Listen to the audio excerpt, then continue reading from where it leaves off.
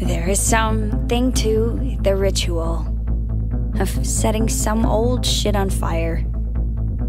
A way of saying this now lives in memory. A way of saying it's only a memory.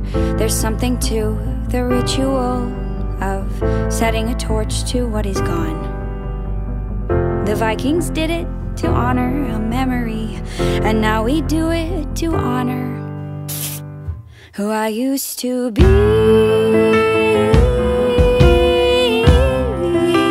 Let's say goodbye to Natalie.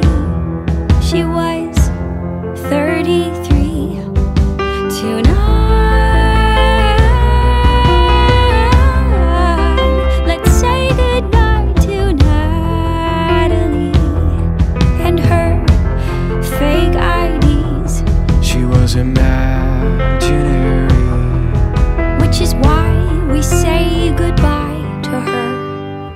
and hello to me. This is ridiculous. Why? I don't see why I have to join your little cremation ceremony. You're the one who made her up. It was a bit more collaborative than you're remembering. All I want right now is the same thing I wanted two weeks ago the truth. Why did you lie to me? And why does Natalie Cook exist in the first place?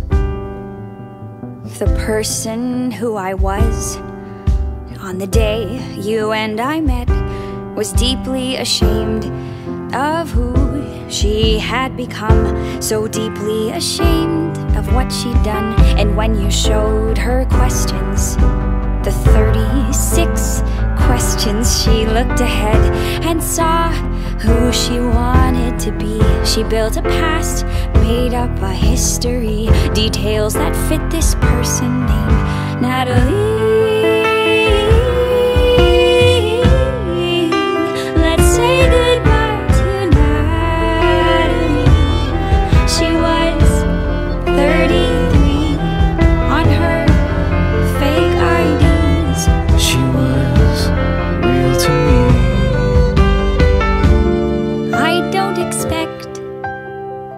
For you to understand perfectly. I loved her too, as much as you, and she'd want you to bury her with me. Okay, Okay, what? give me the match. There is something to the ritual of setting fire to the lie. A way of saying that's one win for honesty. What's done is done.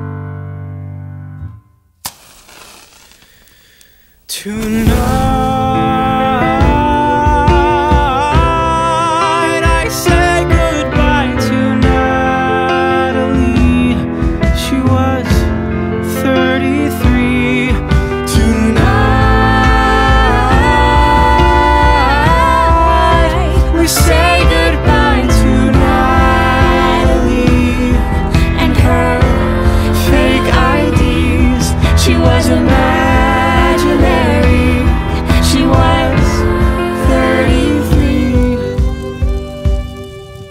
May she rest in peace.